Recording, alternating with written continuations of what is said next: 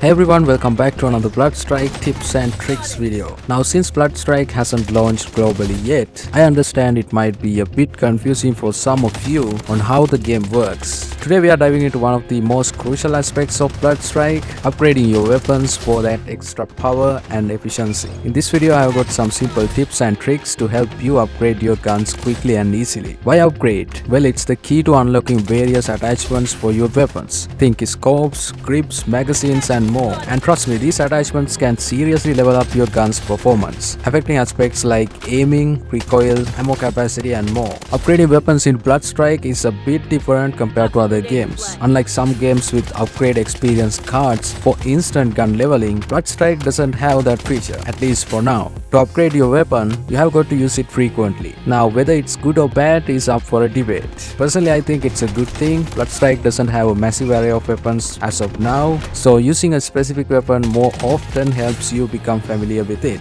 This way, you can figure out which attachments work best for that particular gun. Not all weapons behave the same way, and I haven't came across any two weapons that are very similar. This uniqueness might be because the game hasn't been released globally yet. Perhaps in the future we might see more similar weapons, but as of now, each one has its distinct characteristics. Some guns are easier to control in terms of recoil while others may require more effort. Starting with a weapon from level 1 allows you to understand the characteristics better as you progress to a higher level. This way you can figure out the attachments needed, whether it's for a better recoil control or increase of the weapon's range. In essence, getting to know your weapon early can pay off when it comes to optimizing its performance later. But wait, there's more to upgrading your guns in Bloodstrike. Beyond just enhancing the performance, upgrading your weapon unlocks special missions tied to your weapon level. These missions offer a fantastic bonus, stunning gun camos that transform the look of your weapons. Picture this, one of the most sought after camos, the gold camo, giving your gun a shiny and luxurious appearance. You can snap the gold camo when your gun reaches level 70, the maximum level for every weapon in the game. But in addition, you will have to do a mission. We'll talk about that later. Just think about how awesome your gun will look with that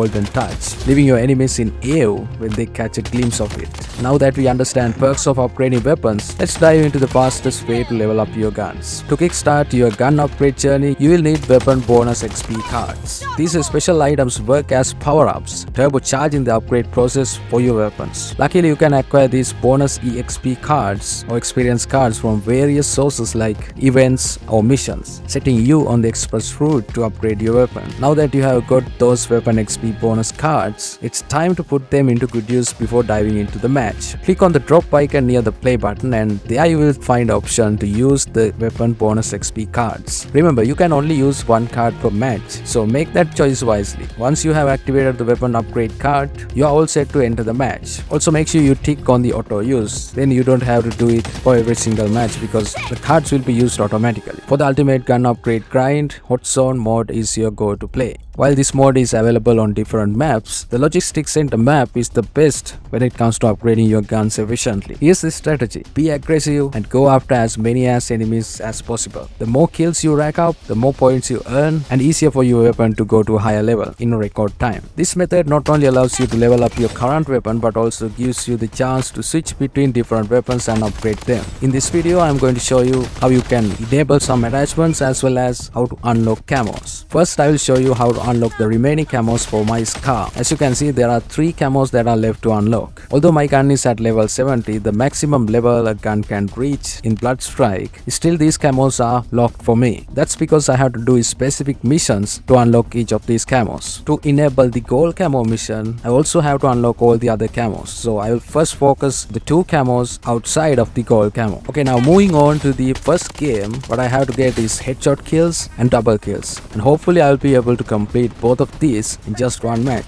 And all the time I will focus on getting headshot kills. That way I can kill them faster as well as get some double kills. So hopefully it is not going to be a problem for me. Okay, moving on to the match results, you can see that I have completed both the missions successfully. When I have completed the two missions and I have unlocked the two camos, now you can see that only gold camo is left to unlock. Now it says 6 out of 6 complete all Scar basic camo quest. I have done it. Now I have to perform 3 kills without dying 10 times with this Scar. Now to do that, I am also going for a hot zone match because that would be easier and I can also die multiple times and do it again and again and this way it will be easier for me. Let's see what happens. The match was pretty good but it was not as satisfying. Yes as I thought it seems like I could only get 4 3 kills without dying. This also proves that you don't have to do this inside of just one match. What you should do is get 3 kills without dying. Now let's go to another match and see if we can make a difference. Okay, the match went pretty good.